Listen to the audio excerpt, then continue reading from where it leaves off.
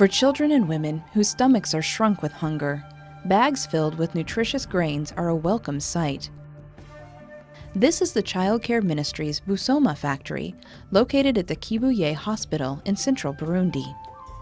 Busoma is the name of a cereal made from the grains of corn, soybeans, and sorghum. The grains are cooked in big ovens on the hospital grounds.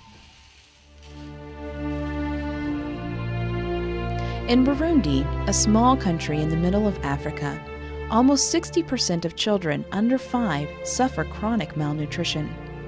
For even the smallest children, survival is a daily concern.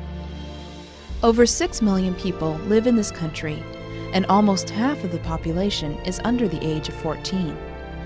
Nearly 70% of the population live beneath the poverty line, and about 90% of the population lives by subsistence farming.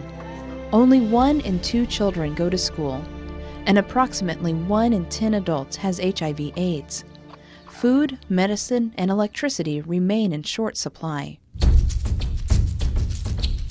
Burundi's scenic beauty has been marred by decades of political violence, tribal hatred, and bloodshed.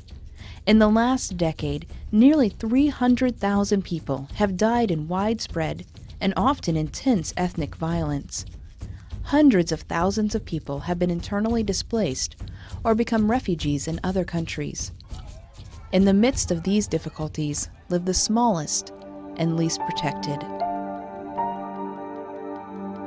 The Burundi Food Fund was created by Dr. Frank Ogden to sustain the lives of children brought to the hospital dying from starvation.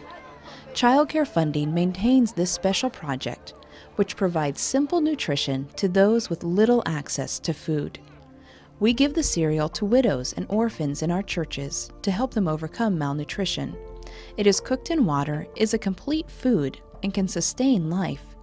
Each month, as funds allow, we produce 8 tons of cereal for 250,000 servings, feeding 13,000 children.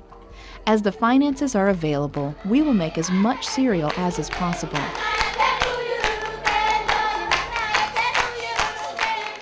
The trucks are rolling in Burundi, bringing in large quantity of the grains. Any funds raised beyond the $4,000 per month needed to create the cereal goes to purchase manioc flour, rice, beans, sugar, and soap for the children. The Bible tells us to feed the hungry, give drink to the thirsty, and clothe the naked.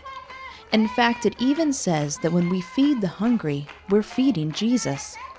Through your contribution to the Burundi Food Fund, you are acting out this scripture by feeding hungry children and widows and helping to bring hope and health to their lives.